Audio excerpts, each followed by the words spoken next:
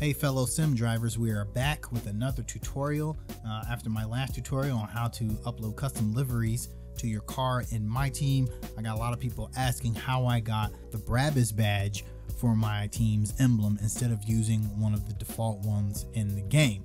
So I decided to do another quick tutorial on that for you guys. This is super easy. It's actually easier than doing a custom livery. This only takes a few minutes and you need minimal, minimal Photoshop knowledge. So let's get started. First off, you're going to need a tool called the Ego ERP Archiver. There's a link to that in the description. It is a modding utility that allows you to open assets from any game made with the Ego engine. That includes F1 2020, F1 2019, and F1 2018.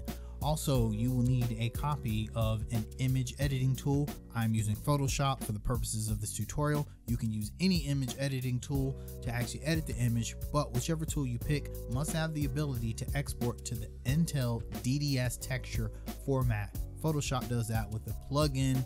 There may be plugins for other image editors uh, like GIMP or IrfanView, anything else that you're using. I don't know because I use Photoshop. So, first things first, you want to open the ERP archiver. You're going to go to settings, make sure that your game directory is set to your F1 2020 installation directory.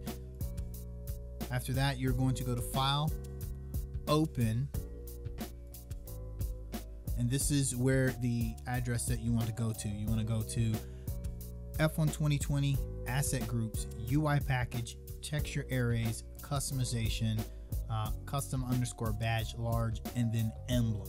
And then this will bring up a list of all of the, the different ERPs. Now, if we go up a level, um, we can see uh, there's actually ERPs for the backgrounds that you choose, but for the purposes of this, we're going to use the emblems, and for the most part, you're going to pick a blank background in the actual My Team badge editor in game. So you want to select the one that has the same name as whichever the one that you're using in my team, or you can use any other one. I'm using the anniversary one mainly because it always seems to work for some reason. Um, when I the first few times I did this, I used some of the different uh, one of the other ones, and it didn't seem to work that well. But the anniversary emblem tends to work all the time. That is the one I suggest using, unless you really really like the way the 70th unless you really really like the way the 70th anniversary logo looks in the game. So once you find the one that you want to use, you want to go ahead and open that. And as you see here, emblem anniversary.tiff, you click that and then you can see the actual emblem. Now this is the one that I that I replaced. Uh, normally it would be the emblem of the 70th anniversary logo for F1. So what you want to do is export this texture and I'm going to export it to my F1 2020 modding folder.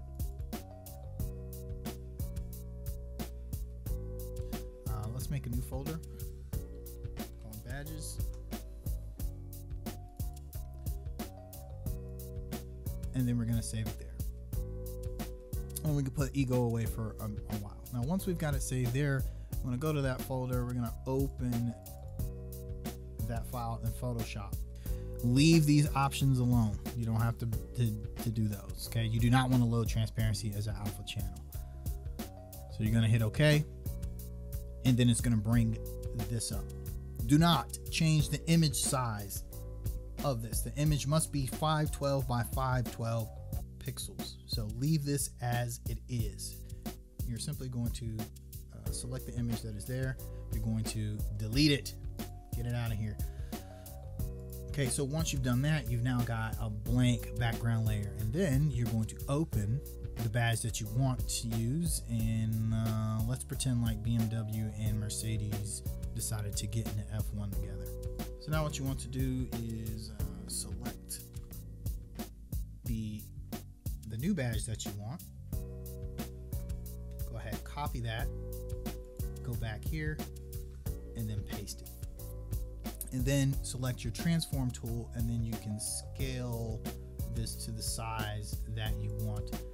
Now this is a pretty good size I think. Uh, go ahead and apply the transformation and now you've got this here. So now all you need to do is export it out.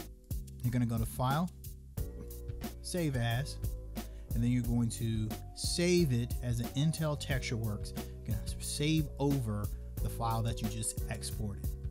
Once you hit save, you'll get this little confirm save as. Yes, you do want to replace it. And then you'll get a dialog prompt. Now what you want to do is select color plus alpha.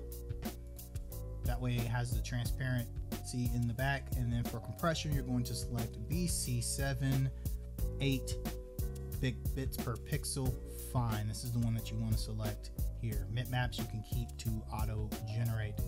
Click OK and then it saves.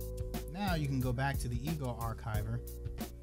Make sure that you have the badge that you want to replace. Select it. You're going to go to textures, import, select this one, and look at that. You now have the badge replacing the old emblem.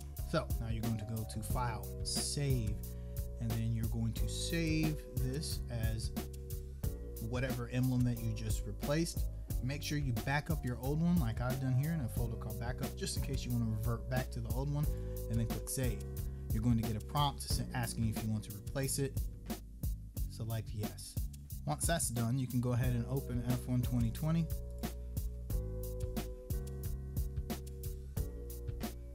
And when we load into my team, we can see that the BMW logo has replaced the previous logo we can see here on my driver, the BMW logo is also on his race suit and will replace the logo wherever the logo is normally displayed in the game. Now, if we go back out into the main menu, go to badges, go to customization, we can also see our badge right here uh, has been replaced and you can change it uh, right there. If you go to create new badge, under emblems, you will see right here where we've replaced it. Now, a few caveats. You have to change the colors of the badge to red and green for them to display if you use any other badge except for the 70s edition badge to replace. So you cannot change the colors on the 70s edition badge, therefore that's why the colors are displayed here correctly, and it's one of the reasons why I like to use it and it always works. If we look here, uh, the Brabus badge that I had earlier, the colors are not red and green, that's why the uh, the logo looks kind of purplish. So for purposes of my team, I would highly recommend that you replace the 70th anniversary edition badge with you, whatever your custom badge is. And that's it. That's how easy it is. A lot easier than putting a custom livery in the game. And if you found this tutorial particularly helpful, be sure to like, comment, and subscribe so that you can be notified for more tutorials and sim racing content. Thanks, and we'll see you next time.